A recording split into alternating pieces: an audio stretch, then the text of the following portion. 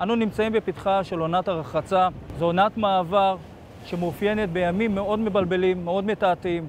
ישנם ימים שהים מאוד רגוע, וישנם ימים כמו היום הזה, שאפשר לראות שהים הוא מאוד סוער ומסוכן. אנו מבקשים מכם, במידה והגעתם לחוף הים, תגיעו אך ורק לחופים בהם יש מציל. מציל מסוגל לזהות את הסכנות, לתחם אזורים שהם בטוחים ואזורים שהם מסוכנים, ופשוט להציל חיים. בנוסף, חשוב שתכירו, ישנם לאורך החופים זרמי פריצה, זרמים שפשוט סוחפים אנשים ללב ים. אל תגיעו למקומות מסוכנים.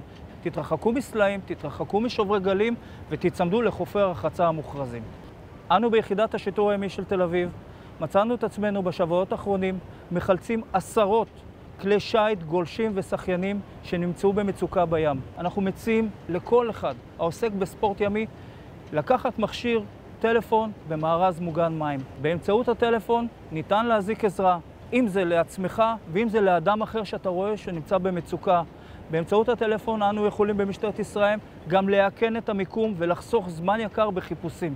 אנו מאחלים לכם עונת רחצה בטוחה, מצפים מכם לשמור על הכללים ולהיות ערנים למזג האוויר.